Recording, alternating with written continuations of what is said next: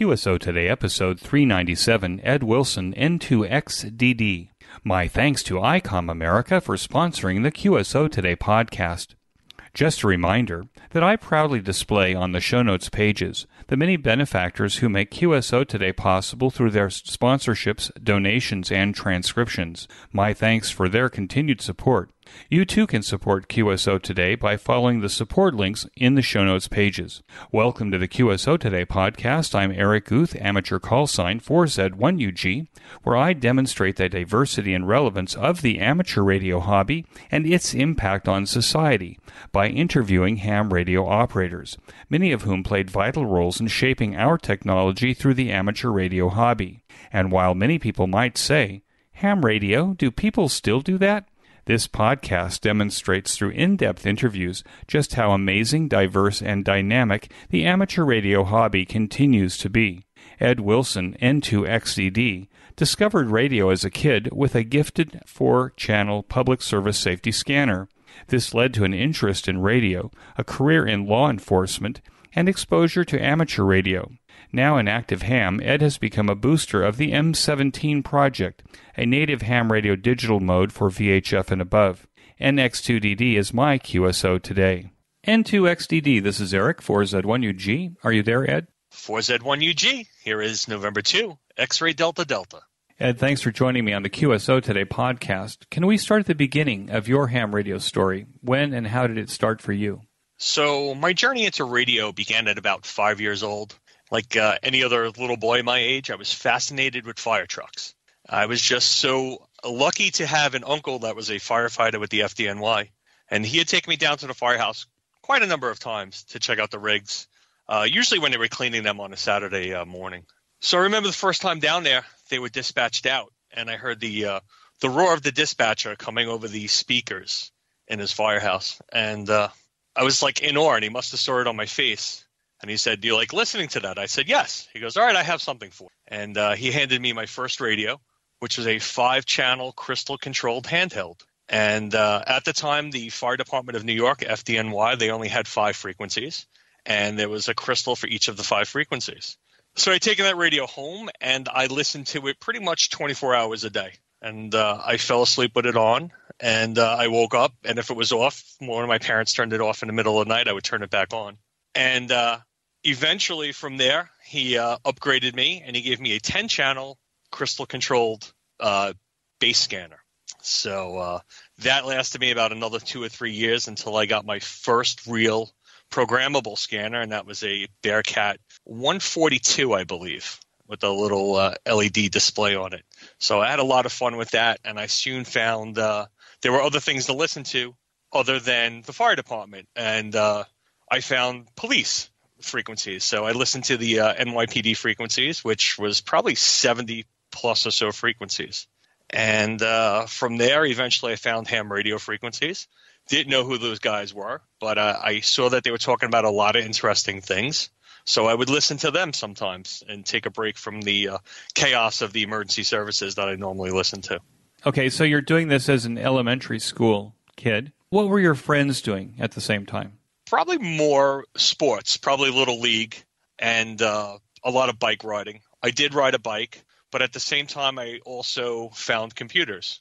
I had my first computer probably around age 10, and it was a Commodore 64 that my parents had bought me. So you were kind of a geeky kind of kid. Yes, absolutely. I can relate.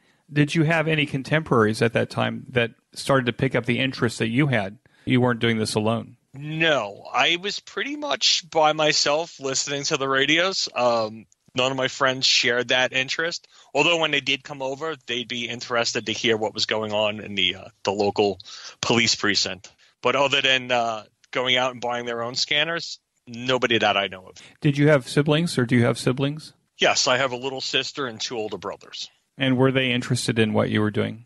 Not at all. Did you ever chase any of the calls that you heard on the scanner? So yes, absolutely. As we got older, um, some of my friends from, who remembered listening to the radio um, when we were younger, they had gotten their license, their driver's license before me. So uh, we would take out my Bearcat 200 XLT and we'd uh, throw in a, a bank of frequencies, local frequencies, and uh, we'd scan them and we'd drive around and go from fire to fire to police call to police call. And were you ever noticed? A couple times. But the thing was that we noticed was there were a group of people doing the same thing at the same time, which we thought was kind of interesting. And did you find like a social group or club out of these people, or were these people operating pretty much independently? There were some independent groups out there. A couple of groups had uh, pager networks that they would use. Eventually, I found out about the pager networks, and I subscribed to one of them. And uh, it would make it a little bit easier. They tell you all the uh, the large active police and fire jobs going out uh, around New York City. The hometown then was New York City. You were in the middle of, of Manhattan. I lived in Ozone Park, which is part of Queens County, which is one of the five boroughs of New York City. I lived approximately five minutes from John F. Kennedy International Airport. So here you are, this kid, you have an interest in listening. Did you have any interest in shortwave listening, or was everything more local to what was happening on the beat in New York rather than overseas? Yeah, everything was pretty much a local thing. I liked knowing what was going on in the neighborhood. Now, having this interest, did you also have an interest in electronics and building things or wiring things up on your own? No, not at that time. At the time, my interest was radio and computers. I'd sit down in front of the Commodore 64, which was eventually upgraded to a Commodore 128, and I'd open up one of the monthly magazines and I'd start typing in the, the programs that were in there. It, it would be like a four or five page pages worth of code to get a small little sprite to dance around on your screen. So I spent hours doing that. And did you upgrade to like cassette tape storage and things like that along the way? I totally skipped the cassette tape and I went right to the Commodore 1541 floppy drive. Which was at the time, I think those were what, five inch floppies, I think. Five and a quarter, I believe, yeah. So I'm getting a sense of the era. What did you discover being a young computer programmer? What world opened up for you? I think that I discovered that pretty much anything was possible with the right amount of knowledge. And I think at that point where I started my journey into gathering information and, and becoming an information and knowledge collector. Not necessarily something I would use right away, but I liked the fact that I knew it was there and it was available for me. And I liked having those resources. And when you got to high school, did you have a group of friends that also shared this interest? Were you part of the computer club? Not at all. So uh, my high school career started out took a little turn from computers and I went into music. So at beginning of high school, I guess I was around 14 years old. I had started a mobile DJing business with two of my uh, friends. So there was three 14 year olds starting a mobile DJ business, and our first paid event was a wedding. That was kind of interesting.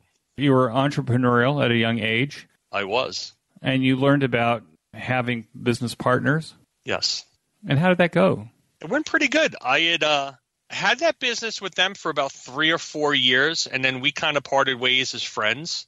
And I continued the business with somebody else that I had met in, in college. And I continued that business with him up until uh, I started a new career. So you were a mobile DJ through high school? Yes. You continued to have the interest in computing and computer programming? Yes. At that point, I, I, I moved on to the uh, IBM series of computers. Usually at this point, I'd ask you if, if you were in ham radio, whether that helped you make the decision in terms of what you would study in college. What did you study in college? I wound up studying criminal justice. That actually seems like that makes a lot of sense if you were listening to public safety all those years. It was a tough decision for me because my DJ business was going pretty good at, at that point. And, uh, you know, right around the senior year of high school, it was a decision of what I wanted to do when I get older. And uh, I was really enjoying dealing with music, and I figured maybe I will uh, become a communications major in college, and I will venture into some of the recording arts. And uh, I kind of a last minute decision. I pulled out of that, and I uh, chose a criminal justice path. And where does that path lead? The path leads to me being sworn in as an NYPD police officer in 1997. This is like a beat officer. You actually were out there in the neighborhoods? Yes, I was uh, patrolling in a neighborhood approximately five miles from where I grew up. Are you still doing that? No, I'm retired now. I retired two years ago after doing 23 years of police work. Yes, I retired as a detective in summer of 2020. I think you're the first, well, maybe not, the first detective I've interviewed in the QSO Today podcast. And what was the best part of that job? You sound to me like you're a problem solver, and a problem solver. Being a detective seems to me that that would be an ideal problem solving job.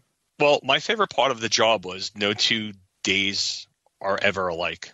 So everything was totally different.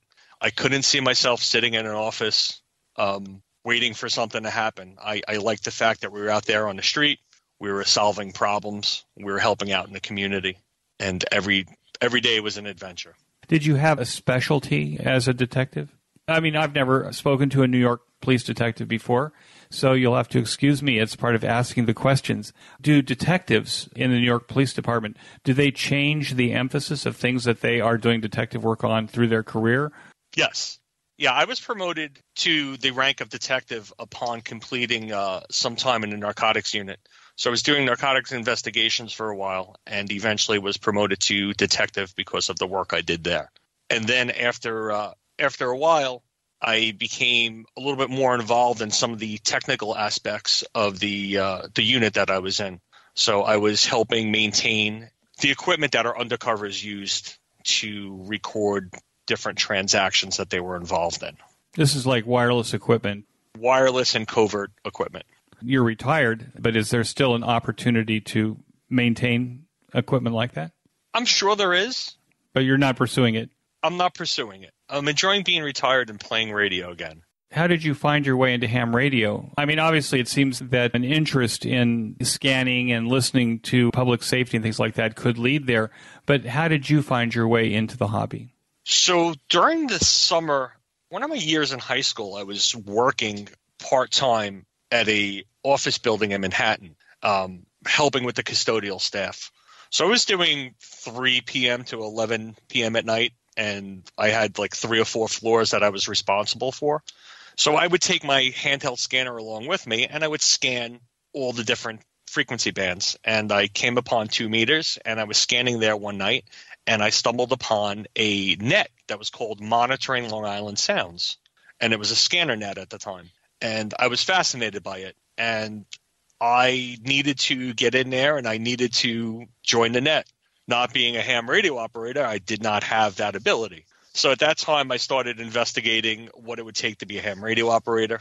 And at the time, there was still a Morse code requirement. And I just couldn't see myself studying Morse code. But looking back, I think I was just lazy and I kind of just waved it off. And then uh, a couple short years later, the no code tech license became available. And that's when I jumped into the ham radio hobby. And how old were you? I was 21 years old. And what was your first call sign? It's the same call sign I have now November 2, X ray Delta Delta. Really? Because you went in as a general or extra class? No, no. I went in as a tech. At the time, they were issuing one by three call signs in, in two land for technicians. That's something new, and that probably was the period of time when I was not as involved as I am now. Okay, so you're 21 years old, you have a tech license. What was the first rig that you purchased then? So at the time, I had uh, moved out to the suburbs of New York City, out into uh, Long Island, out in Suffolk County, Long Island, and uh, it's a commuting it's a commuting suburb. So I spent most of my time in my car. So I got myself a two meter, a Kenwood TM 241, two meter only mobile and my radio time pretty much was just uh, to and from work in the auto every day. And where did you spend that time on two meters? Did you have a favorite network, a favorite repeater? There was a couple different repeaters we would use. I, I became involved with a group of guys that were also commuting, and um, we would follow two different repeaters due to coverage. And uh, on occasions, we go on to Simplex and we have some Simplex chats. Now, were there a lot of hams in the New York Police Department?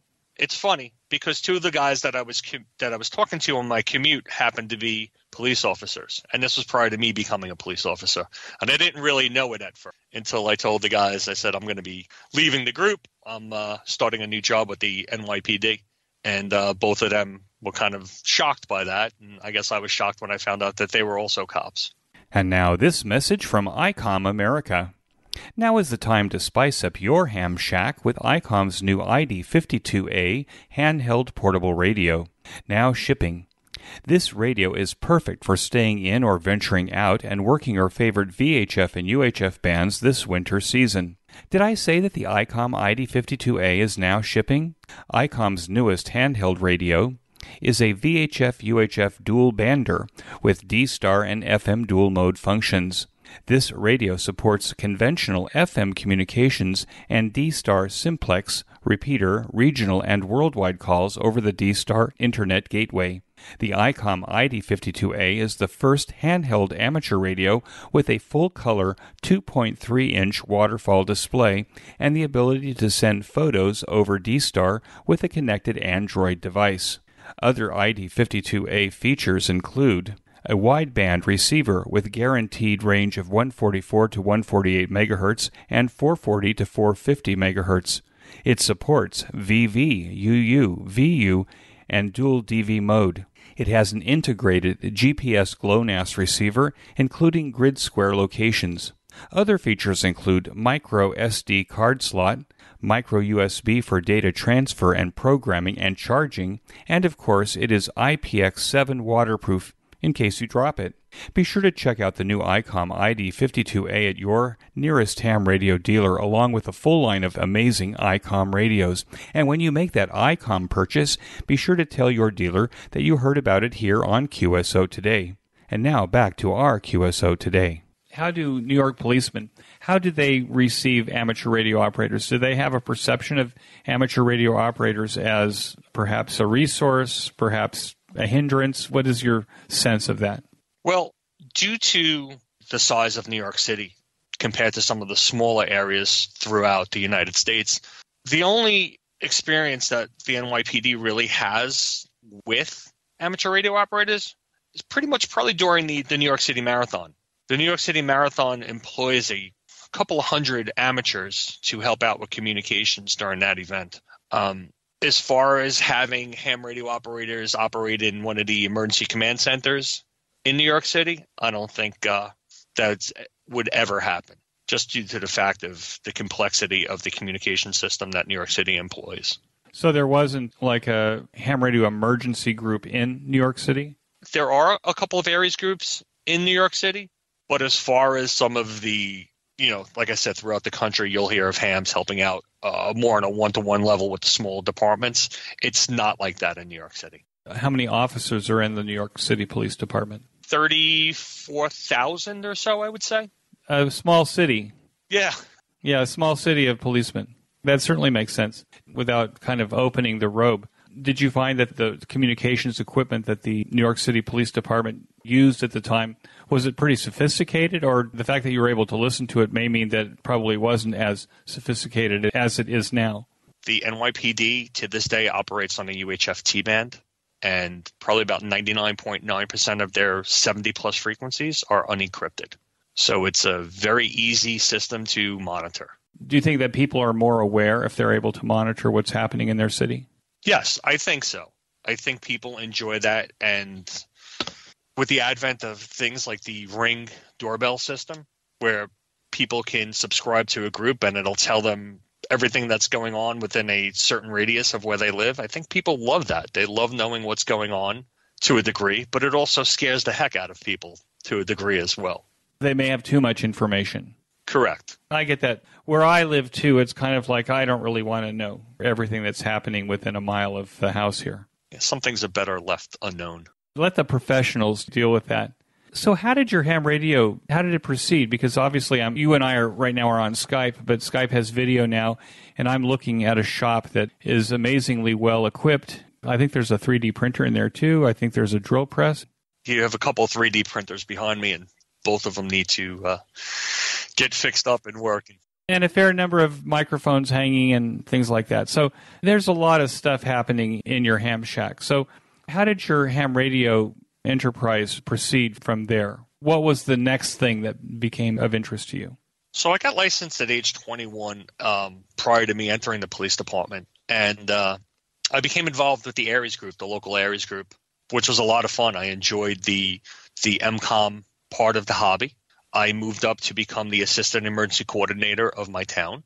And I was able to help out with emergency communications for some of the wildfires that happened in Suffolk County in 1995 and 1996, as well as the crash of TWA Flight 800, which happened in 1996. So I was pretty much most of my ham radio career at that point was involved with doing emergency communications. So we helped out doing a lot of the local walks and uh, Special Olympic events. We did a lot of those as well, providing communications. And I was pretty active in that until I joined the police department. And then I wound up taking the old ham radio hiatus. And I got out of the hobby for a while. For how long? Uh, approximately 20 years. I get it. I had the radio in the car, but it didn't mean it got turned on very much, right? Did you still have the radio? I had the radio in the car for a while, and then I took it out of the car. I had my my license plates, my call sign license plates going. I had the antenna on the back of the car, and then uh, when when I became a police officer, and I kind of didn't want my identity known through the neighborhood that I was working in, so I kind of removed all of that and pushed ham radio to the side for a while. But that time goes really fast. Yes. Did your children, did they have an interest in ham radio? Not at all. Not at all. And I didn't get back into the hobby until they were well into their late teens. So uh, there was no chance of me getting them at that point. I wanted to talk to you about the M17 project because you talked at the last QSO Today Virtual Ham Expo. You made a presentation on M17.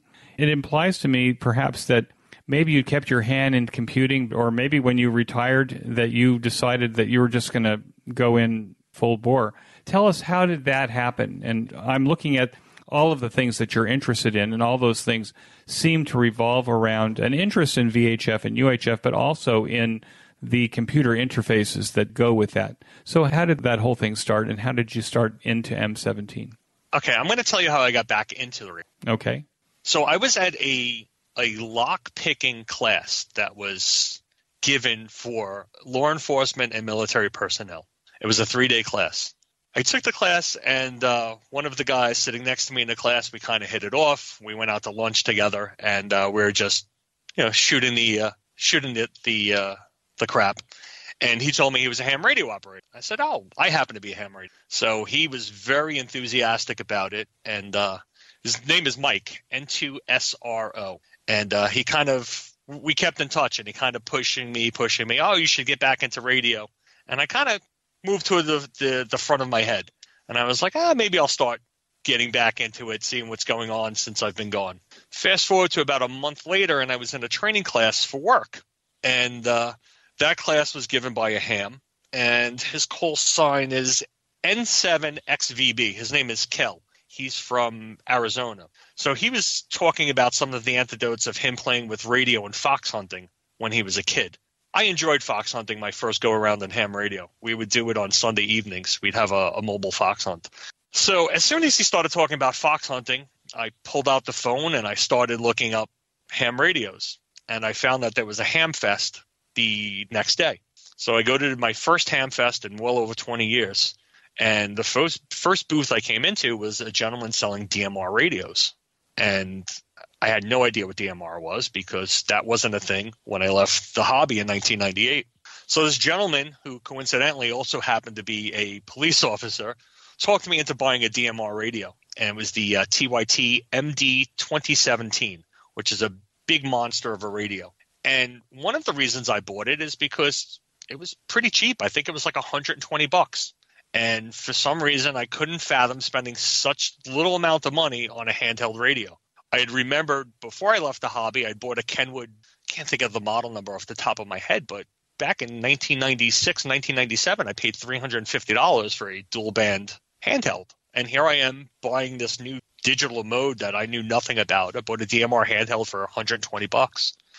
So uh, I took the radio home and I started messing with it. At the time, just getting back into radio. I don't have anybody nearby that I know that's still a ham radio operator. So I took to the internet and I started watching YouTube videos on how to program DMR. And it was just so it was a lot going on. I couldn't figure out why I just couldn't put in the frequency and program it and get on this so-called DMR network. So it took a lot of reading and a lot of watching YouTube videos for to finally hit um, and make sense. And the point where it made sense was about 3 a.m. when I wake up from a, a deep sleep and everything just kind of made sense in my head. The whole programming scheme made sense in my head. I got up, I got out of bed, I went over to the computer, and I was able to make my first DMR code plug. So uh, I, I, I dabbled in DMR as my intro back into ham radio. but I, I kind of thought it was a little convoluted still. It just seem like there was a lot of work going on in, in creating these code plugs. So uh, from there, I joined a, a local club, and I quickly realized I was the youngest person in the club, and a lot of the people did not share the same interests as I did. So I started bringing some of my interests to the club, and I was able to get deeper and deeper into the hobby. Um, at which point, I was watching more and more YouTube videos. I was joining more mailing list groups that were amateur radio related.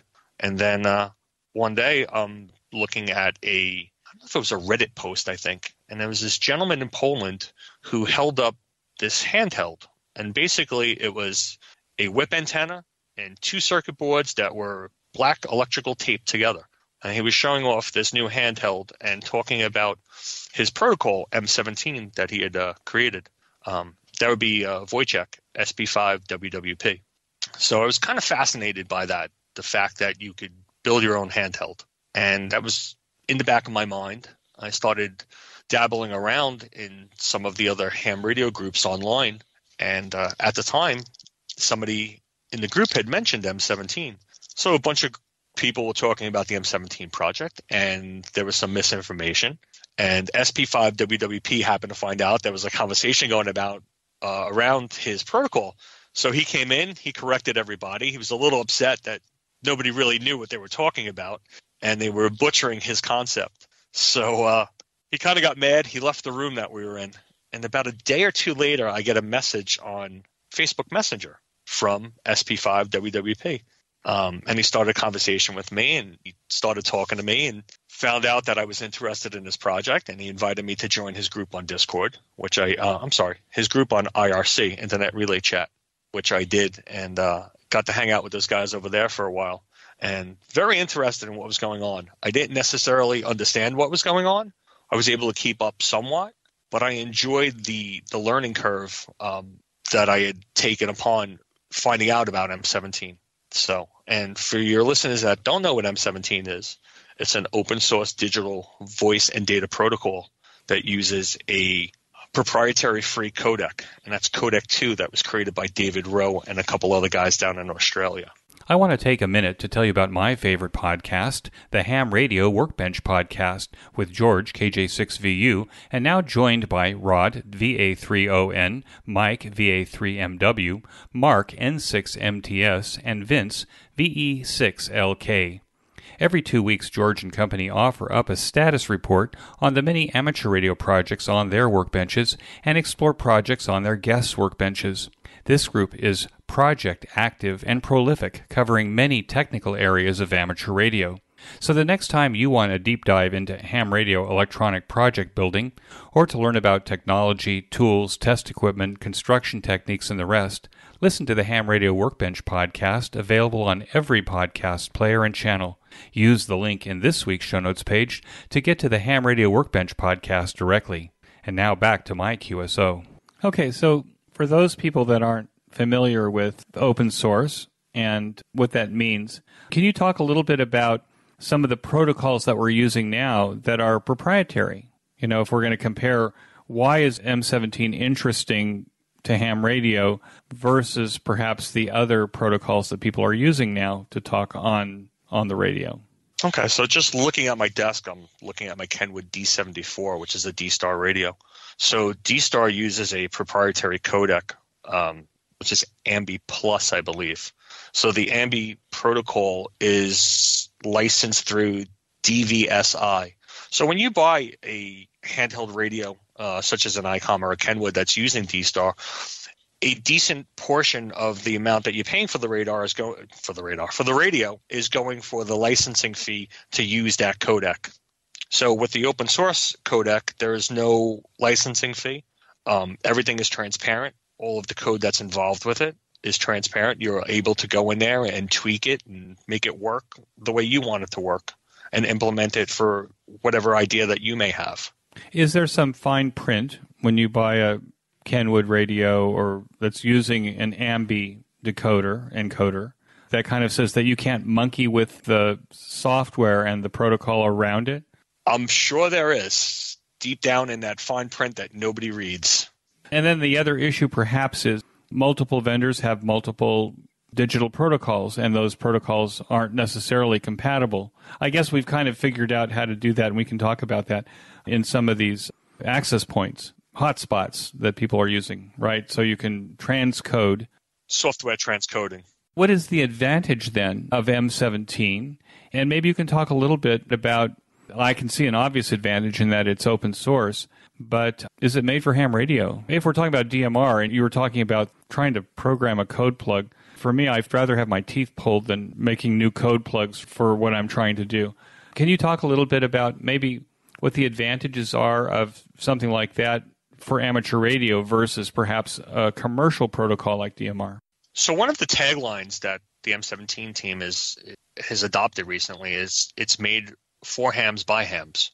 And we've built a community of open source developers and radio enthusiasts that are building these systems of new digital voice and data systems based on the hackers and experimenters history of ham radio. So we're taking any information that the community might give us and we're exploring it, seeing if it's something that's going to make the protocol and the implementations of it easier to use in the long run. And this community is built by a lot of smart people from around the world. It's a, it's a global community.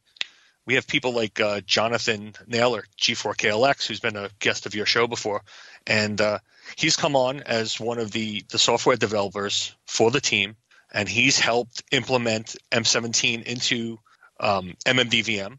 And he's written an MMDVM client for M17. Uh, we have other people like um, like Rob WX90, who is the proprietor of Mobilinkd TNC devices. So he has these tiny little TNC devices that you can hook up to a Baofeng radio, and you can use APRS on a $35 radio. But also, he has some experimental firmware for this TNC3 that you could upload into the TNC, and you can use it for an M17 um, portable unit with the right uh, knowledge and every, everything's documented out there. We have uh, our community meets on a Discord server, so uh, it's pretty much like a a big gathering of of nerds, uh, like-minded individuals that are fascinated by the whole open source concept of M17, and we'll sit there and and we'll spitball some ideas of uh, how we can make M17 better or some sort of a in addition to the the protocol that needs to get done or tweaked is it defined well enough yet that you can actually say, well, this is how we determine the channel? I mean, it's channelized communications, I'm assuming. Yes. There is a M17 specification which can be found on from our website. You can get all the information on, on the spec so far. And you can go in there and you can see the whole entirety of it. We're having an audio conversation. So someone driving to work who are listening to us, I'm hoping that you can explain a little bit if I'm thinking about DMR, for example, I'm thinking I've got, you know, the A side and the B side. So on a single repeater, I can actually have two simultaneous conversations. I go into talk groups. Those talk groups on the A side or the B side could allow me to connect to something on the other side of the planet or just through the repeater. How does M17, how does that look to somebody that wants to set up a radio and either talk on the network, and what does that mean? Is the network a, a party line across the world, or what does it look like? Okay, so for those of your listeners that are familiar with D-Star, D-Star is based on a reflector system. M17 has a reflector system. The main M17 reflector that the team uses is M17 hyphen M17 that would be our reflector. It's the M17 system. The name of our reflector is M17. There are well over 200 reflectors now, I believe, in our system, which more coming on uh, every day. So a reflector would be like, humor me for a minute, might be like an Allstar hub designed for hub communications. It's a destination that you connect to, and everyone connects to that in order to have that conversation, right? Correct. It's similar to DMR has talk groups and Yaesu Fusion uses rooms. So it's just the yes, it's the destination. It's I get the impression with a talk group, a D-Star talk group, we're not meeting anywhere. I mean, it's kind of like for some reason we've all opened up this common maybe it's just the way that I picture it in my brain, but for some reason it seems like a DMR talk group isn't sitting in the middle of some server. It's essentially like a name server, like a DNS server that says, "Oh, everybody is, you know, here." At this moment, and then when that talk group goes away, when it comes up again, it might be someplace else. Does that make sense? Well, in the DMR world, I guess Brandmeister would be the the largest and more familiar of the the networks that are out there for for the users. So yeah, I guess the talk group is residing within the in Brandmeister. Yeah, okay. Right. So Brandmeister could be hosting a whole bunch of simultaneous talk groups. Correct. Whereas M17, I could put an M17 reflector in a dedicated computer or Raspberry Pi. Yeah, you you can host your own reflector on a Raspberry Pi. And how do we program that? Are you guys going to make it much easier than the code plug thing that we go through? One of the early um, team members to join M17 is uh, Tom N7TAE, and Tom has some background in working with reflectors with can't think of the name. I'm going to get it to you later on, but uh, the XLX reflector system. So Tom was one of the creators of that. So Tom had uh, used some of that magic and made his XLX system compatible with M17.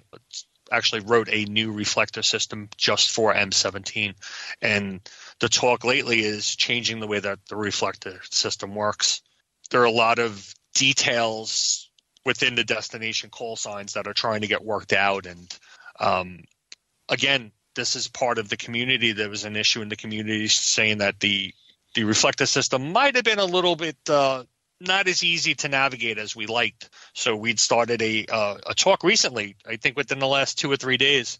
So now we're spitballing a bunch of information on our Discord server, which is open for anybody to come and see, um, come and join in, or come and just you know view from the sidelines what's going out, uh, what's going on there and how uh, things are changed in an open source system. If you're driving and you've got an M17 transceiver, do you see that as the way that a person would go from one reflector to the other would be with a channel knob on preset channels? Or would we use uh, like a DTMF 12 button keypad and key in what we wanted in order to get there? Or is it a combination of both? What do you think that the user experience will look like?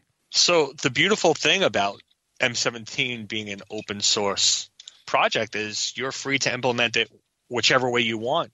One of the members of our community, Pedro M0IEI, he came up with a little board that he calls the OPI M17.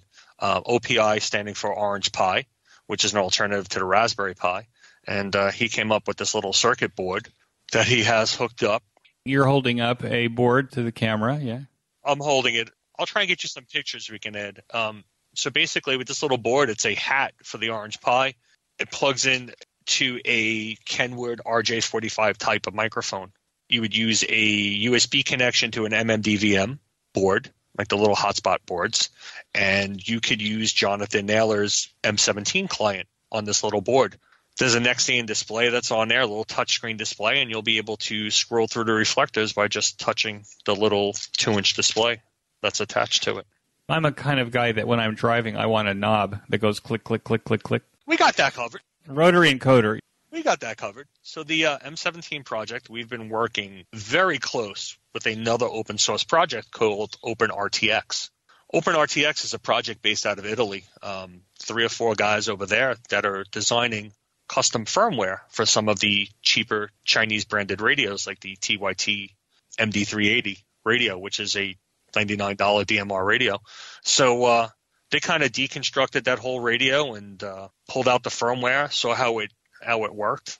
They're writing custom firmware for it, and one of the implementations of that firmware is it'll be able to run M17 on a slightly modified hardware modification done to the MD380. Um, you'll be able to run M17 and DMR on the same $99 radio. Um, the modifications not for the faint of heart. You do have to do you do have to do some soldering. It's really not that bad. And it's a $99 radio that you're sacrificing. And will it still look like a $99 radio when it's all done? Yeah, the modification's an internal modification. Oh, it's an internal. Okay, so it's not like I've got this Orange Pi, you know, black tape to the back of this no. radio battery pack on my belt to run the whole thing. It's an internal modification. Uh, you get the modification done. You're adding a resistor to it, and you're running a lead from one of the MCU chips to the DMR decoding chip in there.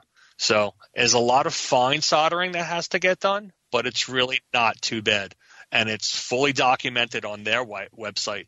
The link will be in the show notes for that as well.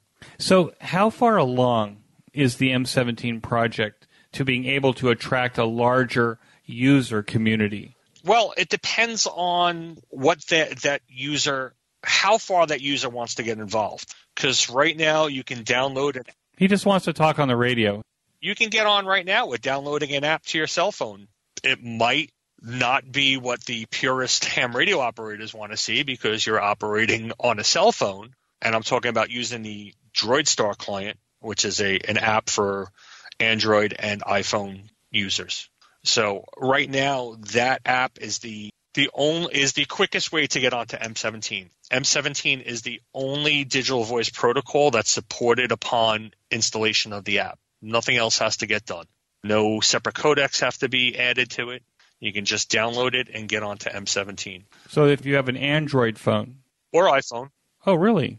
It'll run iPhone. With, I'm not an iPhone user, but there's a separate iPhone program that you have to run the DroidStar app in. Test Flight? Does Test Flight make sense to you, Eric? I think it's called Test Flight. Do you have to break the phone in order to put Test Flight in? I do not think so. I will look that up and put that in the show notes page for people. This is very exciting for me because I love it when people are pushing the envelope. I also love it when people say that the amateur radio purists, I mean, how many of those are there anymore? There's still a few. We become a group of people, at least, you know, who are pushing the envelope of what purist really means. Okay, well, that's very exciting. How about a network radio? Can you explain what a network radio is and whether that will work on M17? So there are some talks with the OpenRTX guys about exploring some of the network radios. I think the Inrico, I have one here, the T320, I believe. Right. So a network radio is actually an LTE push to talk portable that runs, I'm assuming it's running Android operating system. Yes. I've looked at those, you know, for traveling around. I do have Echolink running on my on my network radio, and I do have an older version of um, DroidStar running on here as well. Does it seem to perform pretty well? Yeah, it's it's functioning one of the other we had just recently come back from the Orlando Hamcation in February. M17 we had a table there and we had some of our uh, some of our sample uh, units on display. And one of the things we did, we took an old Android cell phone that was running in airplane mode, and we had hooked an OTG cable to the bottom of it. On the OTG cable, we plugged in a USB MMDVM stick. We were using the ZUMspot sticks, we had two of those set up, and we were talking over M17. We were talking M17 over RF for a distance of about a block and a half. So I was probably pushing out, oh, probably about a quarter of a watt, maybe less. And we were and we were using the old Android as the RF deck for the uh, for the transmission. We will return to our guests in just a moment. A new way to show your support of the QSO Today podcast is to buy me a coffee. I consume gallons of coffee to create this weekly podcast. Invite me for coffee by pushing the yellow button, Buy Me a Coffee, on the QSO Today show notes page. And now back to our QSO Today. Are you guys talking to any of the ham radio manufacturers or radio manufacturers about creating real live gear that runs M17? Well, the problem that we foresee is not all the manufacturers are going to be interested in it because of the open sourceness of the the project. They don't really have anything to gain money wise by throwing M17 into one of the radios. The OpenRTX guys, they were approached by one of the Chinese manufacturers about possibly including their firmware into one of their forthcoming radios, but there's a lot of logistics that need to be worked out with that. We had also spoken to Bob from RFinder when we were down in Orlando. We spoke to him and uh, a couple of his developers, and we're going to see about uh, the feasibility of getting M17 into one of his RFinder DMR uh, telephone handsets. And that makes sense. Essentially, he's running an Android phone with a radio. Yeah, and the projects like this are, are just bringing so many people out of the woodwork with all these great ideas, and a lot of them really are feasible with, with the right mindset and the right hive of people behind you. So if you were going to make a wide area M17 repeater, would you use then MMDVM or something like that as the controller for the radios? That's correct. We actually have a couple of uh, MMDVM modem boards that we had purchased from Repeater Builder. We have two repeaters that we're just getting on the air. That's going to be able to uh, to run M17 through the MMDVM modems.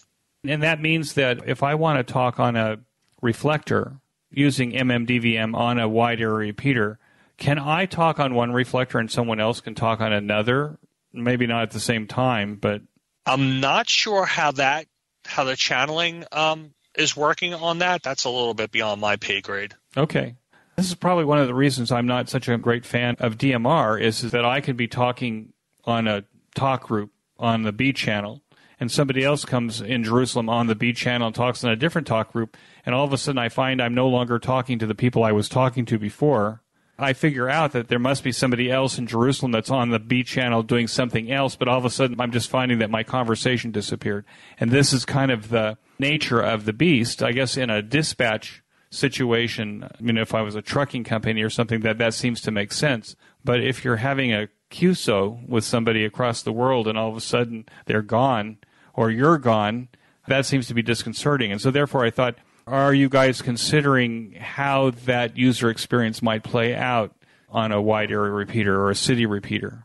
So we currently have a repeater on the air in Poland, and right now it's basically just beaking out some weather information right now because there's not too many uh, other uses of M17 in Poland. But we're trying to work out all the kinks by just having that there. And again, we rely on our community that's out there and, and they're experimenting and they have ideas. So we're we're taking all that information and we're gathering it. So at the end we'll have a reliable system for ham radio operators built by ham radio operators. How much of your ham radio time is spent on M17? Oh, I, I spend quite a number of time. I'm uh, I'm the community manager for the M17 program. So one of my responsibilities is I'm the moderator of our Discord channel. So I'm pretty much in there five, six, eight, ten hours a day, depending on my day, just uh, checking up on everything, taking notes, and making sure everything is running smooth. I see from your QRZ page that you're building an IRLP node, that you are on Allstar. So you like all of these VHF, UHF communication modes. Yes. Are you actually active on all of these now, including Echolink? Going back to how I started my career, I started as a listener. I started listening. So I do a lot of my time listening. Um, I will join in on our uh, a lot of the local nets in the area, uh, my local club nets. I just started playing with IRLP recently, so I, I, I, do a lot more listening. I'm the net controller for the M17 weekly net, which uh, we do every Friday at 1700 hours UTC. I am involved with our local areas group. I am once again the assistant emergency coordinator, so I help out with the net over there. I am a member of our local CERT team. I'm the radio officer for those guys, and I recently became a instructor for them. So as soon as our next CERT class goes in, I will be helping out with the instruction of our newest class. Now, I understand that the ZUMspot, I think, and maybe MMDVM, if I'm right, they also do POCSAG paging. And I noticed that, you know, the fact is we have the video open and I'm sitting here looking at Ed's shack and I see some pagers hanging from the uh, wall there. Yeah, I have a couple pagers here. And how are you using those pagers? I like to think of myself as more of a proof of concept ham for uh, for a lot of things. I, I I became fascinated with POCSAGing technology back in the 90s. I, I had a beeper up until probably late 1999, and I was always fascinated by it. And uh, getting back into ham radio, I saw that you can do POCSAG over the uh, MMDVMs using Pi-Star. So uh, I went out and I got myself a pager and uh, tweaked it up and played around with it with a little bit, and it's probably been sitting back here ever since. So you could carry the pager around the house. I can. I can't imagine there's any wide area ham radio paging at this point anymore. Not here in the United States, but there's a large group in Germany. It's the DAPNet program, and those guys have a wide area paging network in Germany you know, with smartphones and everything else, it seems like that's kind of a step backwards on the one hand. On the other hand, we were talking before we started that you were listening to the episode that I just did with Robin Critchell, WA6CDR, where we're talking about amateur radio networks surviving a big catastrophe. Do you see in the deployment of M17 perhaps that there could be a POCSAG element to these networks that maybe hams are once again involved in the wide area aspect of communications? I, think with M17, anything is possible. Um, it's something that myself and one of the other team members, Steve, KC1AWV, we had uh, tossed around a little bit about playing with uh, M17 over POCSAG. So it's definitely a possibility, something that we will be uh, exploring in the future. Um, we have played with APRS over M17 before, which was uh, pretty interesting.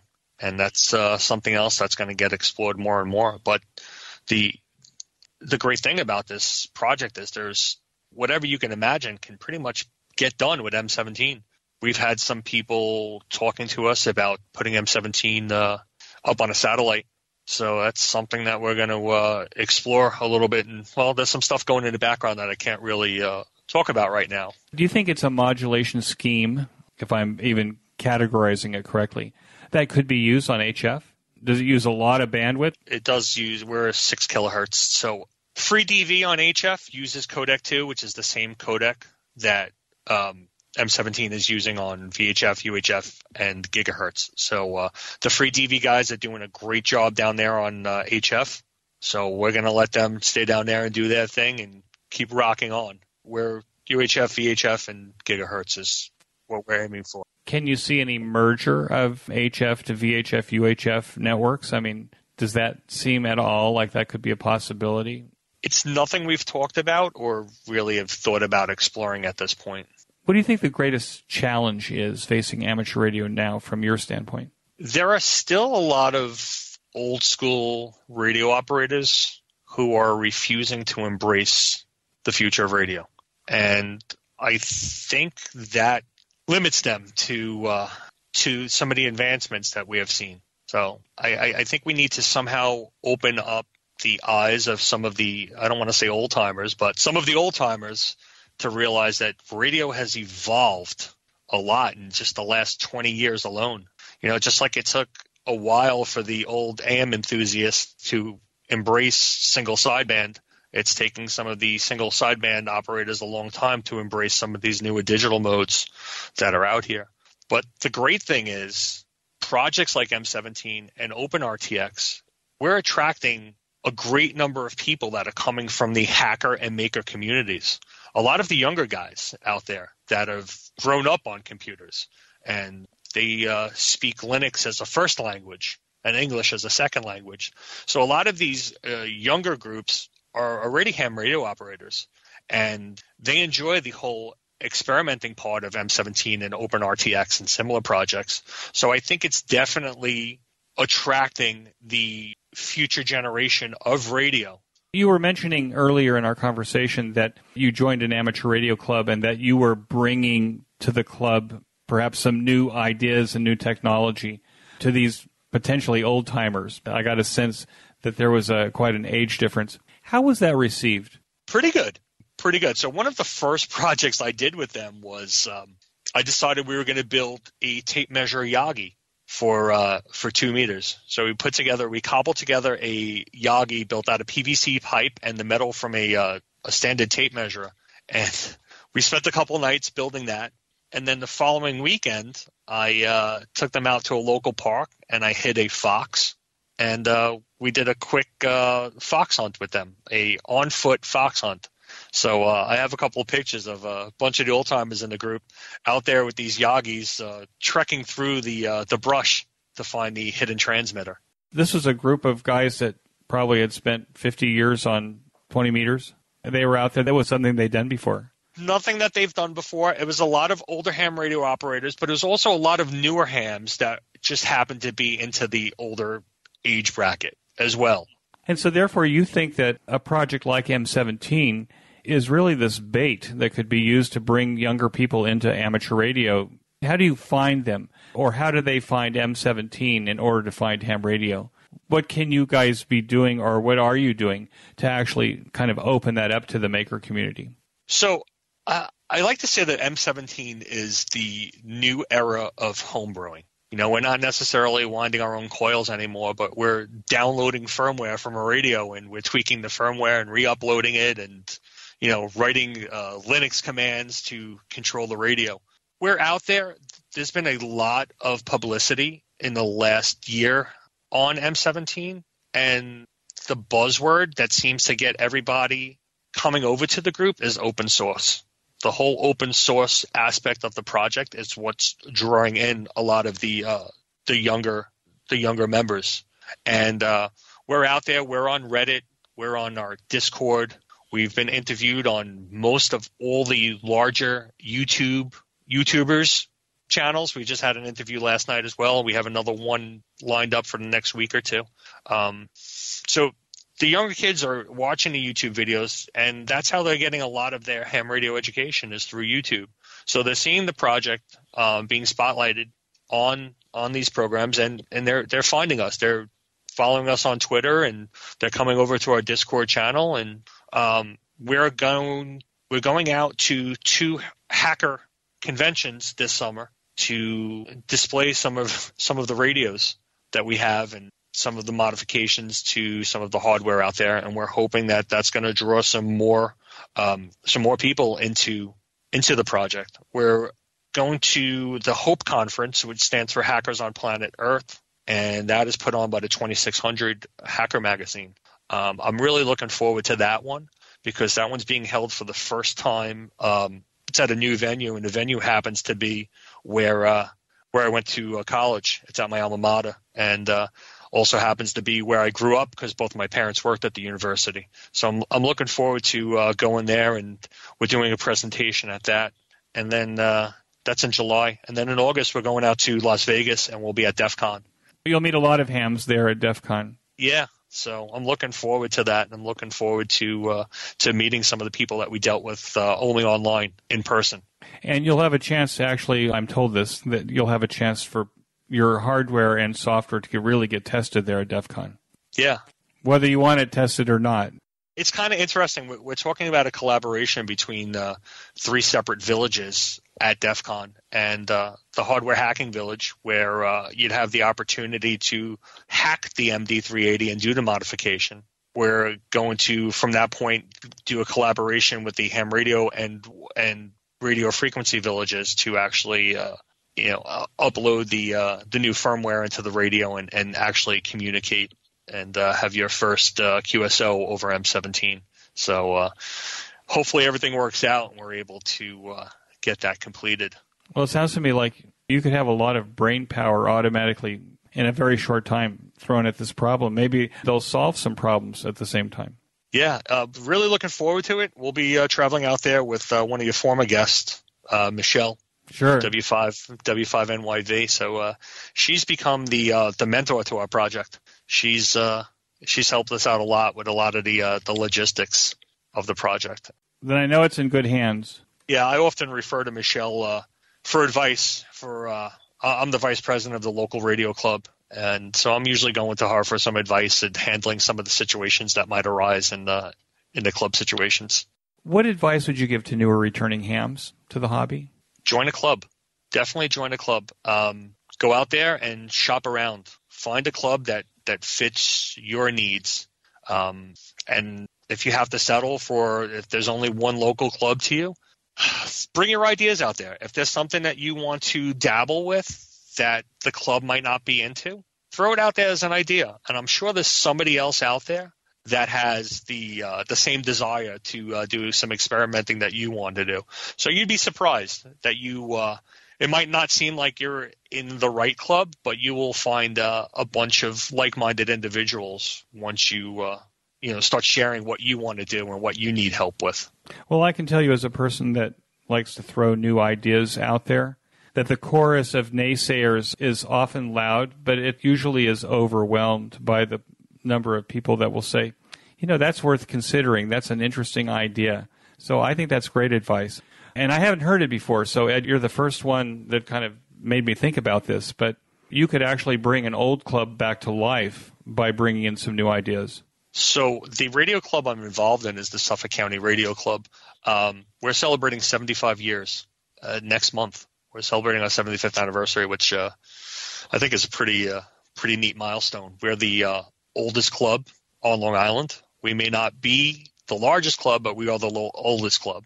So uh, when I joined the club, there was only about 20 members of the club, and uh, I joined the club a year later. I became the club vice president. We were up to about 80 members prior to COVID, and then last year and this year we're somewhere around 40. So uh, at least double the the club membership in a few years that I've been involved with it. So also uh, was afforded the opportunity to start a new radio club. Um, I was approached by the Tesla Science Center. That's Nikolai Tesla, not the uh, electric car guy.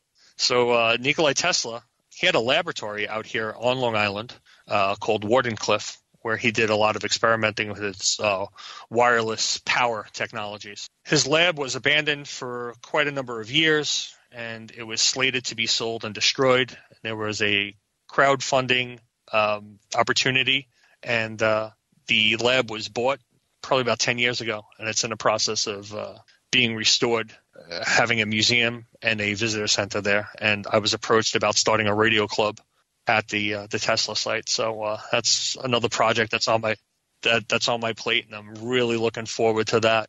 When you've got that, that will have to be a presentation at the QSO Today Virtual Ham Expo.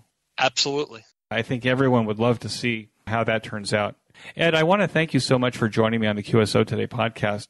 This was a lot of fun, and I really appreciate learning more about M17, more than I learned just from your presentation that you made at the expo. So thank you so much, and 73. 73, Eric. Thank you for having me. That concludes this episode of QSO Today. I hope that you enjoyed this QSO with Ed. Please be sure to check out the show notes that include links and information about the topics that we discussed. Go to www.qsotoday.com and put an N2XDD in the search box at the top of the page. My thanks to ICOM America for its support of the QSO Today podcast. Please show your support of ICOM America by clicking on their banner in the show notes pages. You may notice that some of the episodes are transcribed into written text. If you'd like to sponsor this or any other episode into written text, please contact me. Support the QSO Today podcast by first joining the QSO Today email list by pressing the subscribe buttons on the show notes pages. I will not spam you or share your email address with anyone. Become a listener sponsor monthly or annually by clicking on the sponsor buttons on the show notes pages or use my Amazon link before shopping at Amazon. Amazon gives me a small commission on your purchases while at the same time protecting your privacy. I'm grateful for any way that you show appreciation and support. It makes a big difference as I head towards episode 400. QSO Today is now available in the iHeart Radio, Spotify, YouTube, and a bunch of other online audio services, including the iTunes Store. Look on the right side of the show notes pages for a listing of these services. You can use the Amazon Echo and say, Alexa, play the QSO Today podcast from TuneIn. My thanks to Ben Bresky, who edits every single show and allows both this host and my guest to sound brilliant. Thanks, Ben. Until next time, this is Eric, 4Z1UG, 73. The QSO Today podcast is a product of KEG Media Inc., who is solely responsible for its content.